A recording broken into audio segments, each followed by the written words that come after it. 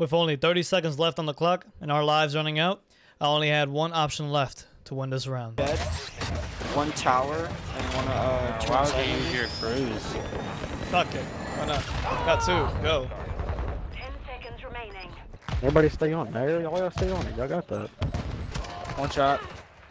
Don't oh doubt my God, cruise. No way. Don't doubt my cruise, bro. Never mind on the cruise, Reap. No problem, bro. It was a good cruise.